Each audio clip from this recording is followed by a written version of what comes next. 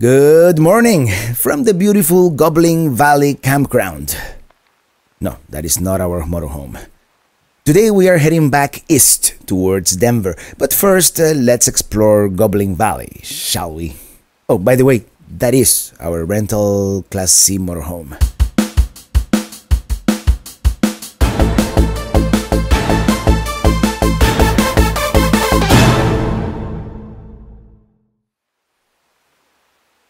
It is uh, such a beautiful morning right here on the Goblin Valley campground.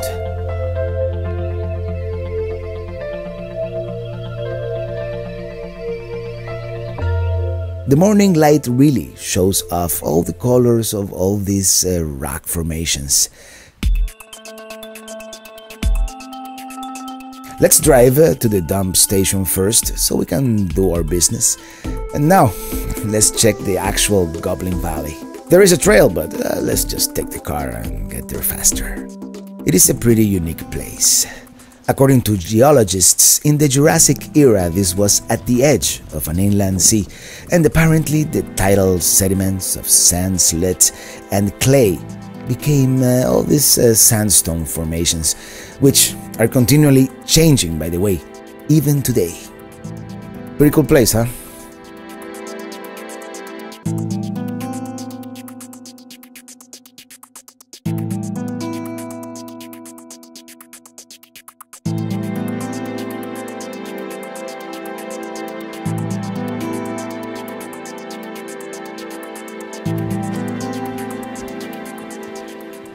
back to the RV. Uh, way up there.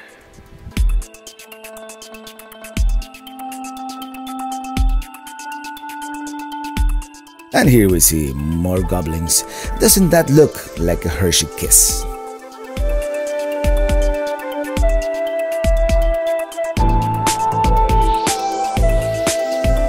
We go north on State Route 24 and then east on I-70. Again, we pass near Moab and later into the great state of Colorado. We also pass a Grand Junction with this view of uh, Mount Garfield and uh, the Colorado River State Park. Pretty soon we start seeing the foothills of the Rockies in the distance. Uh, see how the landscape slowly starts to change. We are driving along the north bank of the Colorado River uh, towards Glenwood Canyon.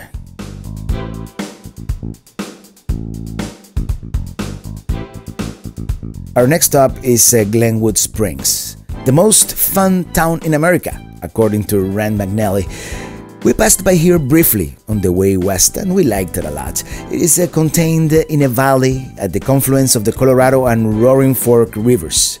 We are getting hungry, so let's have a nice lunch, uh, some craft beer at the, this place called the Pullman, and we'll be on our way. Not before walking off our lunch along this charming little town.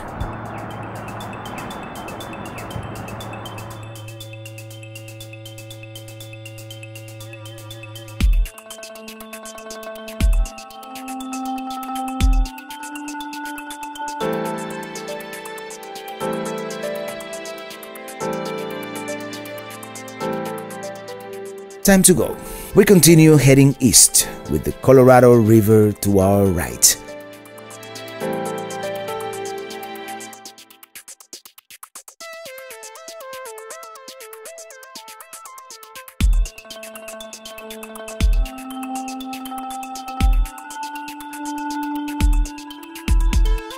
We start going into the Glenwood Canyon region.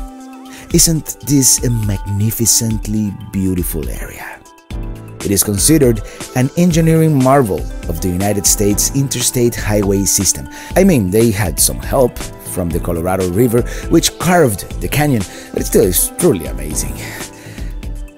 Anyhow, enjoy the ride.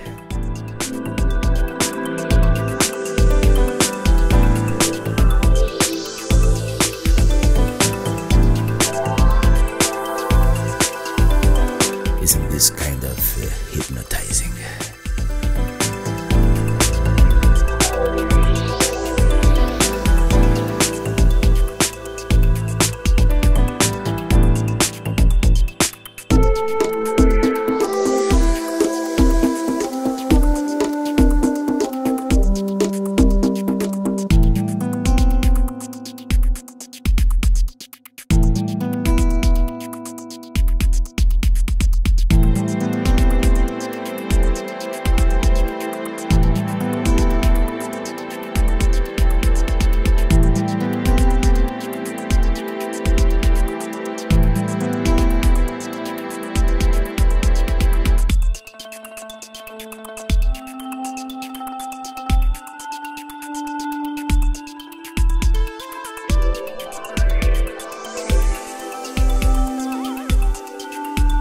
Some point, uh, there is an exit uh, to the Hanging Lake Trail, a hike we ought to do some other time.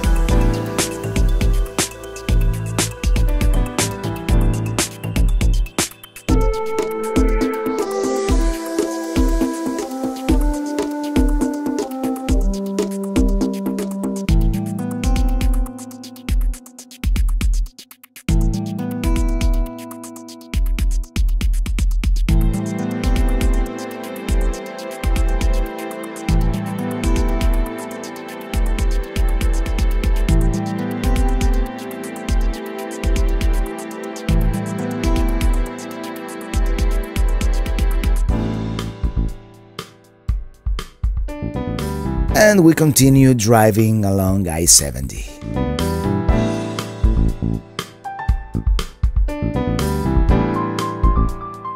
We encounter the skiing resort of Vail once again. We are almost at 10,000 feet, over 3,000 meters above sea level, getting close to some of the highest points in the interstate highway system. But we plan to go even higher. We are stopped here at Shrine Pass, kind of close to the Continental Divide. And um, it's pretty chilly outside, actually.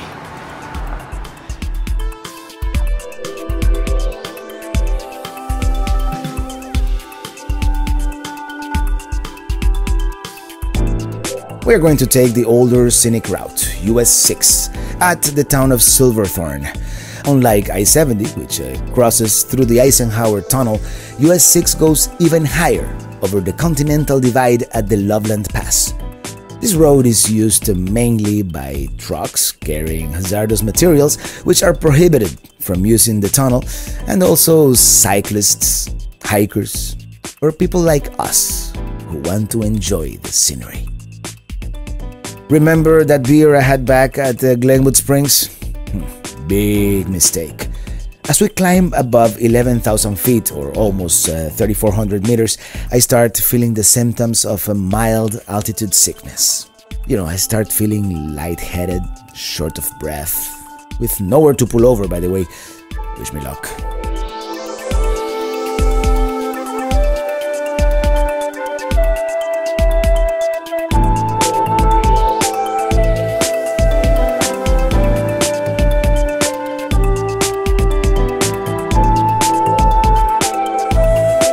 Eventually, we find a place to pull out, and I drink copious amounts of water and start feeling better.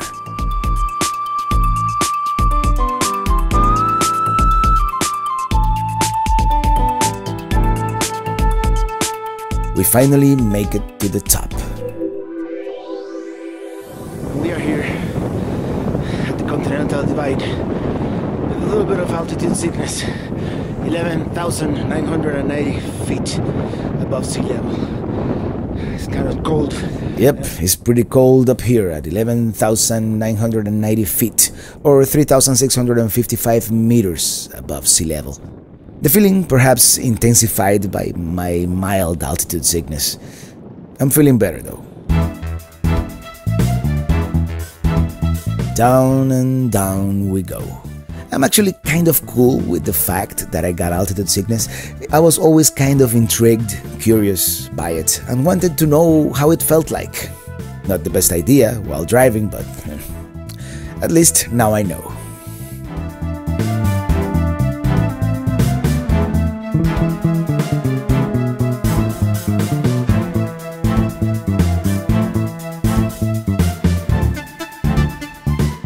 We rejoin I 70 and continue heading east, but we are not quite going to Denver yet.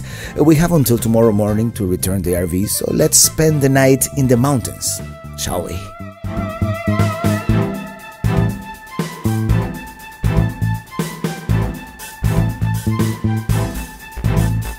By Idaho Springs, uh, we take State Route 103 up to Echo Lake, uh, which is about halfway up to Mount Evans, which is the highest paved uh, road in the USA.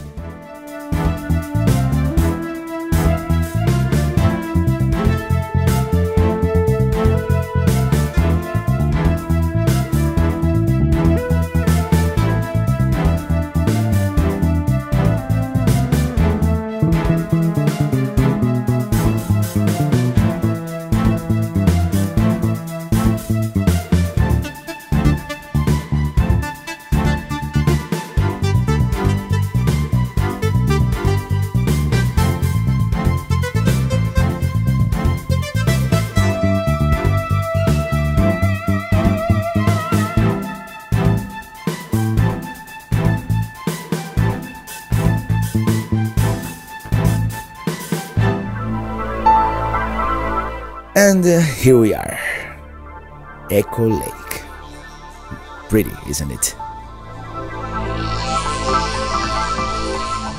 To the right, uh, we see the lodge, and uh, we arrive to our primitive campground.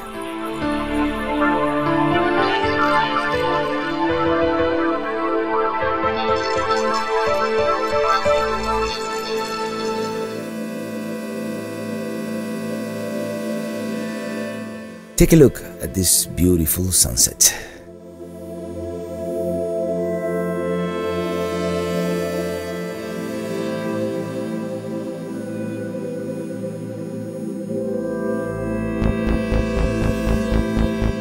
Now, let's go back. We make uh, some fire and uh, call it a night.